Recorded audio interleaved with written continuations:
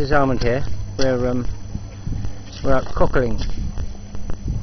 What they do, they tend to seem to hide in the front of these banks as the tide goes out. And when you pull the front off the bank, you find cockles. And the further back you go from the the actual crest of the wave thing, the less you find. But we're out here this morning. It's nearly October. Um, there are literally hundreds of people out here. As you can see, it looks like a, a refugee camp in uh, Somalia or somewhere. Anyway,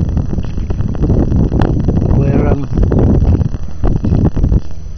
we're going to carry on and, and, and collect some cockles for lunch. These people.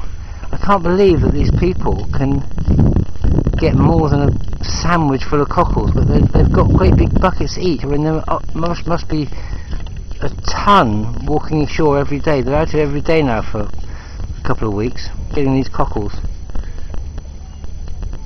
Anyway, it's a wonderful day.